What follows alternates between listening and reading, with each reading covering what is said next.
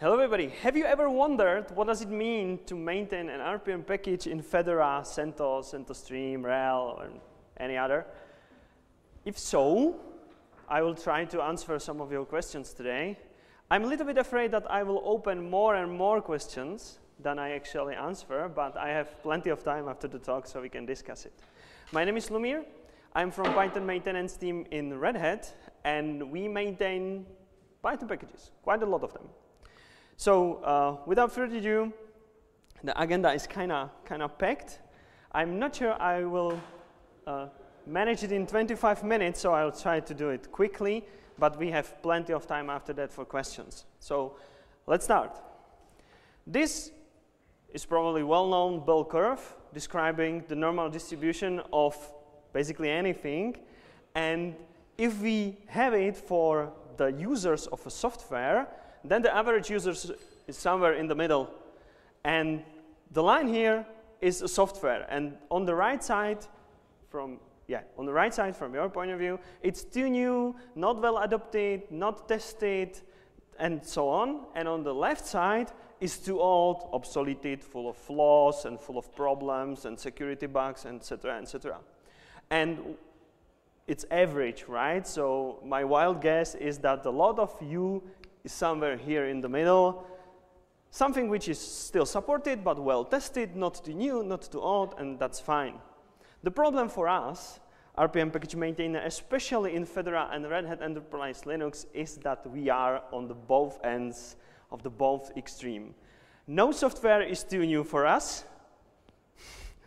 I will show you some examples. And no softwares are, are too uh, old for us. I'll also show some examples of that. Basically, the flow, the flow of the code looks something like this. That's if you really don't know what does it mean to maintain an RPM package, that it might simplified look like this. So somebody creates a software, library, application, whatever, and on the other hand, there are users who want to use those applications and libraries. And in the middle is a magic man or woman, the maintainer, package maintainer. Because usually if you want to install some software, use it, you see it on the internet and, oh, this is a very nice application, I really want to install it. If you use a Linux distribution, probably your first step will be DNF search, yum search, apathis search, something, something, and you, you really wish the application to be packaged into that distribution because it means that you can install it and somebody else take the care of all the stuff around it and comp compilation and testing and all stuff. And that's who we are in the Python maintenance, but not only in that one team, also in other teams as well.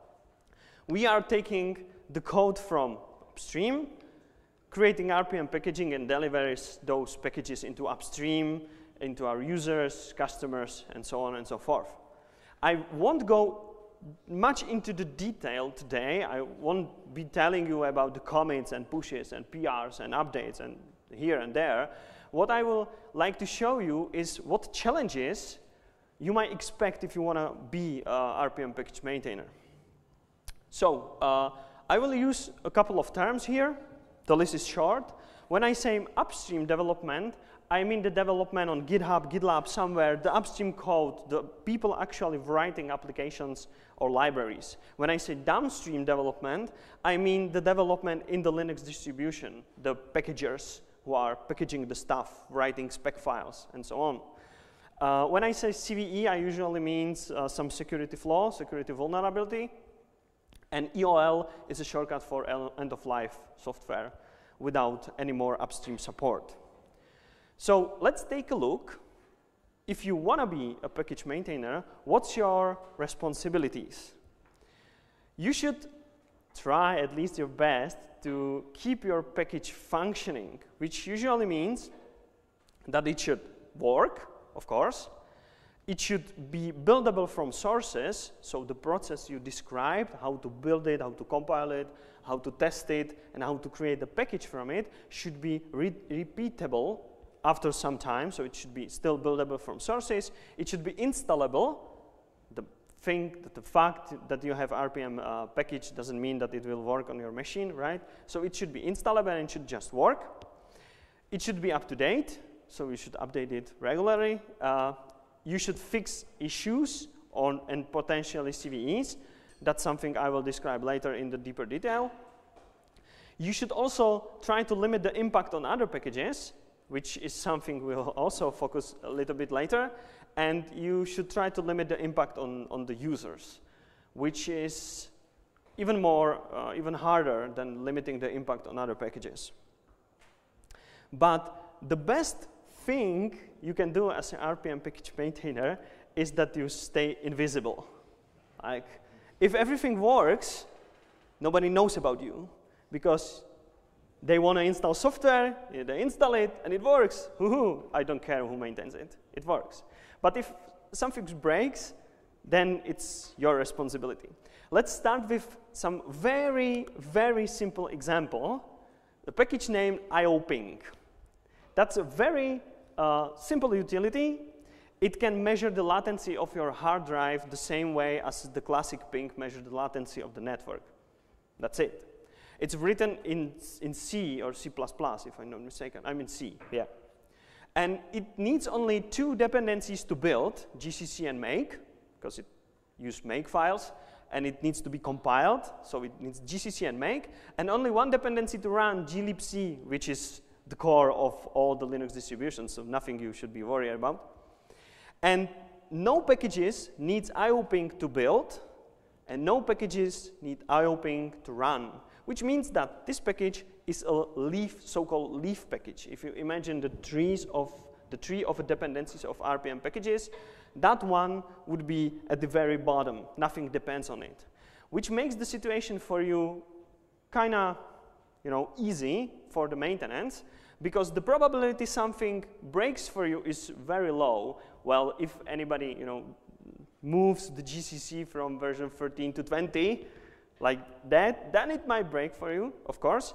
But other than that, the probability that something breaks for you is limited because you have very limited set of the dependencies. And the probability that you will break something for anybody else is also kind of limited because no other packages depends on those, on that package directly. So only if you break it, uh, you might expect some bug reports from users and that's something which is really hard to measure because we don't know how many users are using the specific components, the specific packages. So what could go wrong here? As I mentioned, somebody can find a bug in the application. That might happen, of course, or security vulnerability.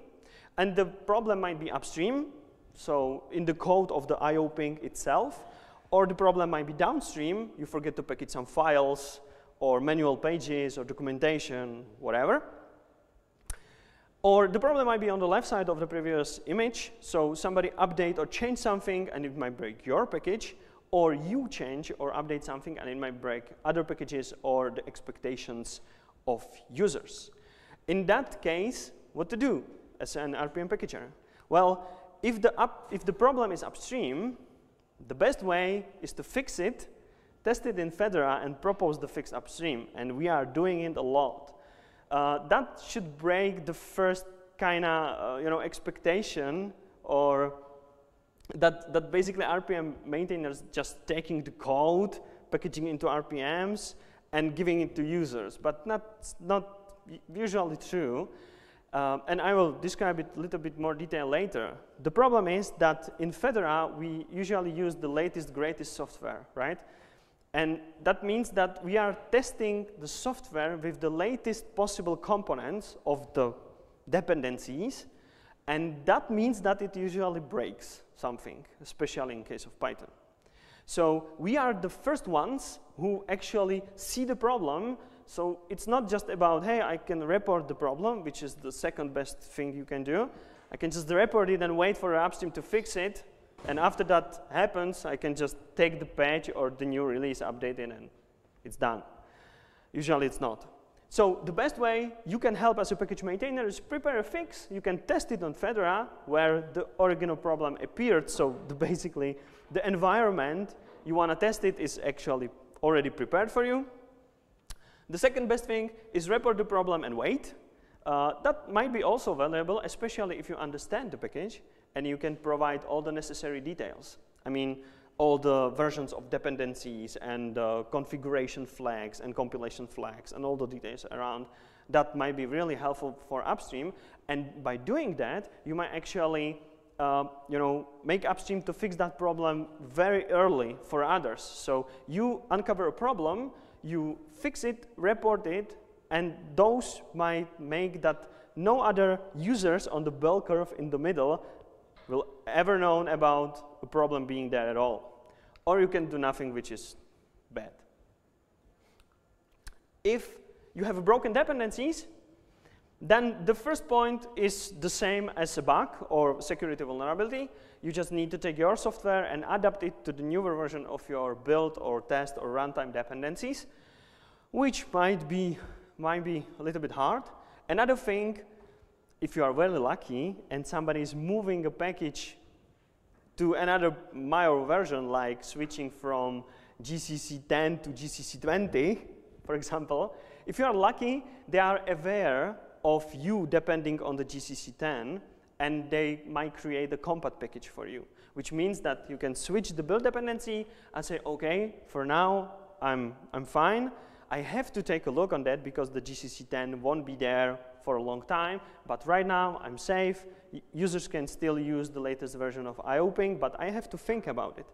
But honestly, that doesn't happen so often, so you have to switch your package to the latest version of dependencies. And of course, if the problem is downstream in your package, then it's your responsibility, right? That might sound like a lot of work. Does it? That's nothing. Not yet. We are not there yet. Let's move to the other side of the problem. Uh, because we have a cookies. Oh, not, not actually cookies, but we have a lot of stickers. So after the, after the talk, I will give you some stickers. So uh, let me step aside for a while. I will describe in more detail what we do in Python maintenance team, especially in Fedora. Fedora loves Python, almost all of them. you know, Python, Python 2.7 not that much, but still. And we would like the Fedora to be the best distribution for Fedora de developers at all, and uh, for Python developers, sorry, for Python developers at all, which means that uh, we maintain multiple Python interpreters at the same time, continuously. For some of them, mainly because we have to do the same in RHEL. And that means that if you want to develop a Python application for RHEL 8 or for RHEL 7 or for RHEL 6 or RHEL 9 and, and future 10, then you can use Fedora for that. You don't need a virtual machine or anything virtual with the old uh, distributions and stuff. You can take Fedora, take the Python, whatever version you want. You can create a virtual environment for that, write an application, test it, and, and it's all great. If you are on the other side of the bell curve, as we are sometimes, then you might want to test your application with the latest, greatest version of Python, which is also possible. We have Python 3.12, which is now first beta, but we have it in Fedora since first alpha, which means that you can really test with all the supported Python, and we support a lot of them uh, much longer than upstream. And also we have some uh, alternative interpreters like PyPy. We had also Jython, but not anymore. Uh, and also, we are very fast, really. Uh, it took only seven days for 3.11 Alpha 1 to appear as a build in Koji, which means that if you really need the latest, greatest Python, there is absolutely no need to compile it from sources from you. And that's really, really good. Only three days for first beta and only three days for 3.12 Alpha 1 after it was released upstream, it appeared in the build system of Fedora and you can use that, which is, which is quite awesome. And what's maybe more important than that is that these are much faster than the usual CI providers. You know that you can use Python for testing on GitHub Actions and Travis and Circle CI and whatever, but you will wait months after the official release of Python 3.11 or 3.12 and in the future, you will have to wait months after the official final release to appear in the CI system like those. You're not a Fedora user? Hmm, shame on you. But it's not a problem. because we offer all the Pythons, including with the tox, which is a great tool which enables you to test one application with multiple Python versions, uh, even in parallel if you want to. So all the Pythons tox based on Fedora as a container image, available on Docker, uh, Docker Hub, and also as a GitHub action. So you don't need to use Fedora directly, you can use it only in the CI to test with all the supported Python versions. All right, but the situation for most of the interpret interpreters I mentioned on the previous slides are the same as for the IOPing, because the alternative versions are basically the leaf packages as well as the IOPing is, because nothing should really depend on it. They are not meant to be used in production. They are meant for development and testing. But there is one, the main one, the main troublemaker. And there is only one in every Fedora release, which is the main one. It's basically uh, usually the latest stable release of Python. And that's the one which causes us the more troubles, the most troubles, and most work at the very beginning of the Fedora release. Because all of those are usually uh, leaves packages for testing and development, that's fine uh, that's, that applies also for the future versions. That the, but the main one is the troublemaker here. Let's increase the complexity of the example with IOPing a little bit. The graph for Python 3.11, which is the main Python interpreter in Fedora 38 and Fedora 37, looks like this. We need 45 packages to build it. We need 24 packages to use it. And by use it, I mean the Python interpreter and its standard library, not all the components provided by that package. But that's the part we really cannot affect, right? Something might break here, and the probability on the left side of the image is much higher than for IOPing because th those packages are much more complex than, than GCC and Make, and it's, the numbers are just really, really higher. But the funny part begins on the right side. 4,400 packages needs Python to build, and 5,600 packages needs Python to run. It's like, wow.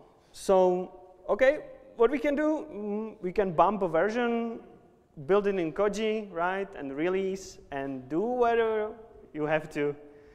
Fix it for yourself, let's say. That's obviously something we cannot do, and that's the reason why it generates so much work for us. The reasons are basically two.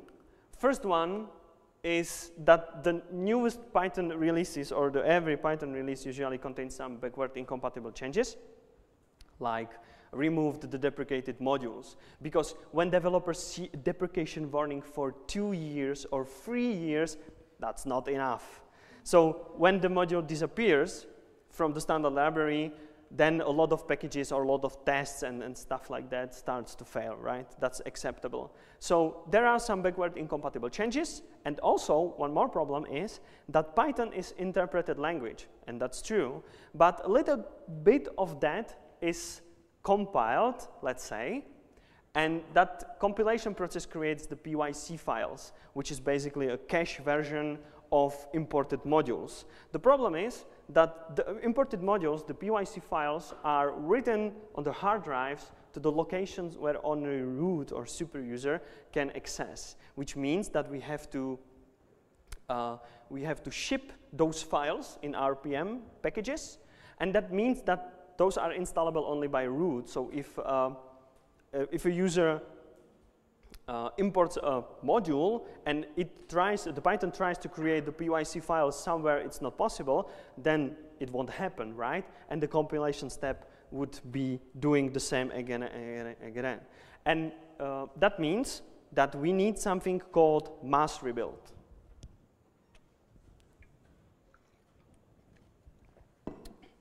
But that's somewhere in the middle of the update process. The first step of the update process is write a change proposal, right? You can see that, those on the Matthew's talk today. So write a change proposal, describe your plan, describe, describe the contingency plan, and so on and so forth. Then package a new Python version as a new package. We cannot just update the old one because we want to maintain it, so we want to keep the old version, so we have to create a new package. and then rebuild the thousands of packages in, in Copper. Copr is just, uh, let's say, an alternative build system we can use for testing. And during those rebuilds, you will uncover a lot of bugs. Some of them you can fix, some of them you cannot. You have to report the bugs upstream of the libraries, downstream if it's a packaging problem, upstream of the CPython itself, because we are just humans, right? And Python is just a software, so full of bugs as well. Or downstream, fix it downstream in the package, uh, in a Python packaging as well. So really incredible amount of work, and it usually, the whole process I'm describing here, which usually takes the whole year because Python releases are somehow aligned with the Fedora releases, which means that uh, fall this year we expect Fedora 39 and also Python 3.13 Alpha 1, and we will have the whole year to prepare the Fedora packages for the new Python version. Rebuild all the packages in the side tag again. Uh, the side tag is something like a branch in Git, nothing to be really worried about. So we prepare all the packages we know about, all the problems we try to fix in Copr, and then we can rebuild them again in the side tag of the development version of Fedora on Rawhide, which is actually happening right now. The process of rebuild in the side tag started a couple of days ago, and we are somewhere around 3,000 of packages already built and then you merge those rebuild packages back to Rawhide, and ta-da, you have the Python, in that case, 3.12 in Rawhide, and that's awesome, right? It's incredible amount of work, and thanks mostly to Tomáš, you can talk to him after that. Tomáš, raise your hand.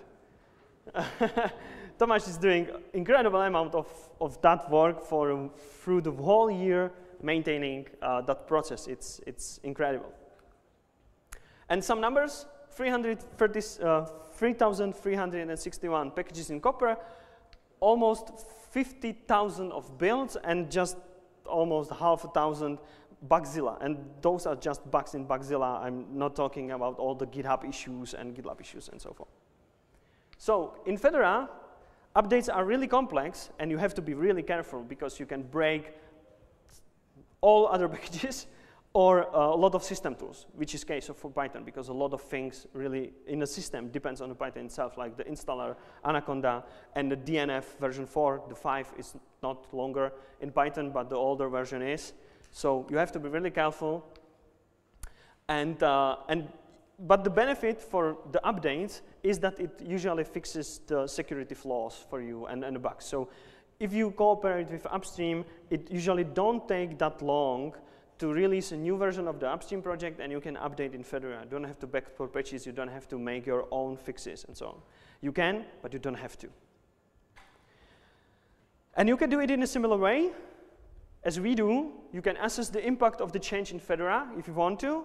And if you are interested, stay here in this room and Karolina will tell you more about how we do it in a Copr in a little bit more detail. But let's move to the other side of the bell curve. What, what if we cannot update? What, we, what if we cannot change it that much?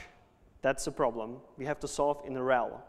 The promise for RHEL customers and users is that we will try, I added the try mentioned, uh, we'll keep your system secure without breaking backward compatibility of uh, provided components, which means that the updates are usually out of question, usually, not every time. And I would like to describe that on the two security vulnerabilities we had to fix and how we deal with that on multiple levels to, to show you that it might be really interesting and also really complex when it comes to fixing something in a older components in the old systems for the customers who depend on the maximum stability. Let's take the first one, which is a web cache poisoning in urllib, which is a standard, uh, standard library of uh, Python. And the problem is that when you have a URL address here, it can be, it, it's usually parsed somehow by a proxies or web application and so on and so forth. And you have to set the delimiter for the key value pairs here. And uh, World Wide Web Consortium recommends using the ampersand only, fine, but the Python had semicolon and ampersand both at the same time as a default. All right, that we don't need to go much deeper into the detail. The thing is that if the application is configured differently than the proxy in front of that application, it might mess up the results in the, in the proxy, and that's what the vulnerability is called uh, web cache poisoning, okay? So, right, what we can do, uh, we can follow the same recommendation, right? And that's exactly what Upstream did. All right, recommendation is to use ampersand. Well, switch the default to the ampersand. Hmm, that's, that's too, too rash, you know, that's too rough. We have to find a somewhere middle ground. All right, all right, let's switch the default to the ampersand and allow users to configure something else. That sounds great. But the separator keyword argument added into Python don't allow you to use more than one character. So you have to choose either the, the ampersand or the semicolon or whatever you want to, but not multiple at the same time. And that's a problem, right? So the Fedora, we are latest, greatest, whatever it means. So we just followed the, the upstream resolution. We updated all of our Pythons because the fix was kind of quick. So it was implemented upstream. They did uh, security releases. So we just updated all our components. And for the EOL interpreters, which are maintained by us and not upstream anymore, we just backported the patch. So Fedora follows upstream, and the new default is the standard, and that's what it is. Deal with that. But for the RHEL, we cannot do that. That's a problem. So we basically took the patch from upstream, adapted in a way to allow the old behavior by default, and uh, added a warning. So if you use that default, so which means that your application is not ready for the new code base. If you use that default, somewhere in your log will appear a warning, appear a warning with a link to the documentation, and the documentation will describe to you what's happening. But after that, we still cannot expect our users to change their code base. So we have to find a way how they can set the new default without actually changing their applications. So in the patch, in the same thing, we have provided a way in the Python code itself, which is kind of obvious, but we also provided a way how to send it, set it uh, via a configuration file in etc, and also uh, a configuration via environment variable. So we didn't change the default behavior. We added a warning to our customers saying, don't do that, please. Because on the other hand, they might use the default for, for Python, ampersand and semicolon, and they might have the old, some old proxy configured in the same way, and everything is fine. And if we would change the default, it might silently break a lot of stuff. Silently, that's a problem. So we added a warning, we added the possibilities how to configure that, so everybody can, can do that on any system, setting variable, uh, adding a file into etc, and, and whatever. So we had to be very careful, and in that specific case, we have decided to not change the, the default setting. Another CVE, and the last one I would like to talk today about, is the tarfile module directory traversal. And if you know that the second part of the identifier is a year, then this one is waiting for a fix for a long time, really. Uh, I've, I've tried to uh, say to Peter, like, hey, we can wait uh, couple more years and then we can celebrate the 20 years of that CVE and fix it, right? That would be great uh, birthday gift, but no. Peter decided to fix it this year. And we are actually in the process of doing that, so I will describe that. So the problem of a, of a tar is that it was designed to back up the whole systems complete, completely, which means that it supports symlink, hardlink, uh, hard links, extended metadata, some special files, um, relative paths, and a lot of, lot of stuff. The problem is that if you unpack an archive from an untrusted source, it can completely break your system, really, which is not something we would usually need these days, right? We are not, no longer backupping our system on the tapes magnetic. So that was it. But then there's a problem. What's the correct way? How, how to do that? And the upstream had the perfect resolution, the nothing. We said in the documentation that blindly extracting archives is a bad idea.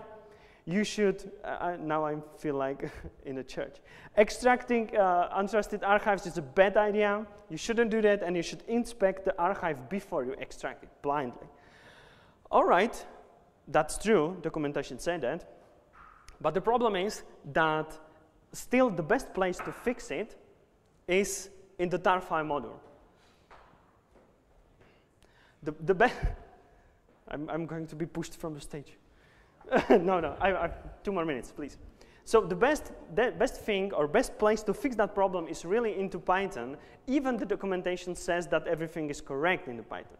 So Peter, my another colleague, Peter Viktorin, decided to change it in, into Python, but it cannot be done in a backward incompatible way, right? So he wrote a PEP 706, which is Python enhancement proposal, really long document, full of useful information if you wanna read that. And it added filters to the tar fully trusted, which means that you know what you are doing, tar somewhere in between, and data, which is the safest one, only allowing some capabilities of tar. Uh, Python now have a deprecation period in Python 3.12 and 3.13. The default is the same, but there is a warning if you use that default. Same thing as the urllib. And then in 3.14, the data will be the new default, which is how it works in Python. So in Fedora, we basically followed the same thing and backported the patches into the LL interpreters. So now all of them behave the same way. And in RHEL, we have decided to do even more strict thing and we backported the patch and set the strictest filter uh, to be the default one in the RHEL distribution. So we can finally say that after many years, the vulnerability is finally, is finally fixed. And that's one backward incompatible change we had to do, and we will see what will, will cause. So, some conclusion, I know, I know, I know. Some conclusion, being a package maintainer might mean a lot of things a lot of different things for a lot of different people. If you want to uh, maintain a leaf package with a useful utility, please do that. It won't cost the whole free time you have. But if you want to maintain something like Python in Fedora and RHEL, be prepared to sacrifice something. And in Fedora, it's good to know your packages, because if you do so, you can prepare patches, you can help upstream fix the problem. If upstream is no longer interested in, those, in their packages, you can maintain them, you can help to evolve the whole ecosystem, or at least create uh, reasonable reports. In RHEL, you have to. You really have to understand your package, the packages you have. You really have to be able to backport patches 10 years down the road to the very ancient component, you know, open the book full of dust and backport the patch into that. So you have to really know what you're doing. And you have to be prepared to do some tough decisions like we did when fixing the vulnerabilities. All right, and that's all. Thank you for your attention.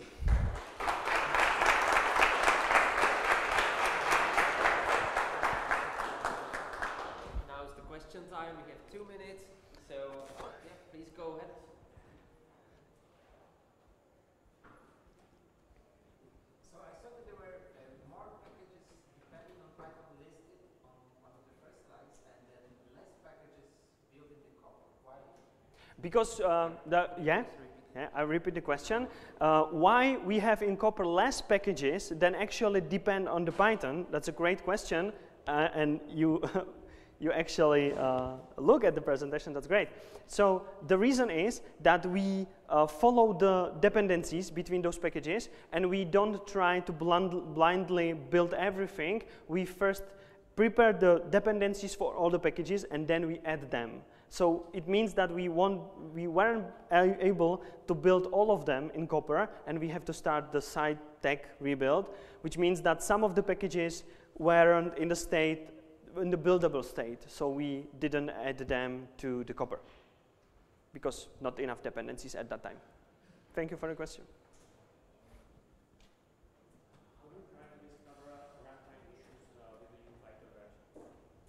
Well, uh, uh, the question is whether we try to discover runtime issues with the new Python. That's a great question. And honestly, the amount of work we have with the build time is a lot. So there is not that much time to do so, but we uh, really think that every single RPM package should contain tests. So we really depend on the components, depending on the Python, to have some tests, which kind of means that we should be able to, to get them, to get the problems in the runtime. But yeah, if the package has no test, there is no way to verify it works with the new package. Yes, yes, unit test mostly. Because during the build, in the build system, there is no access to the internet, so no that much of uh, integration testing and stuff, but every single package should have a check section with a unit test. And if we rebuild the Python and then rebuild the PyTest, we hope that PyTest has a, as good coverage as possible, so it will you know, uncover some possible problems. Okay. We are out of time. So And I'm sorry for that. Thank you.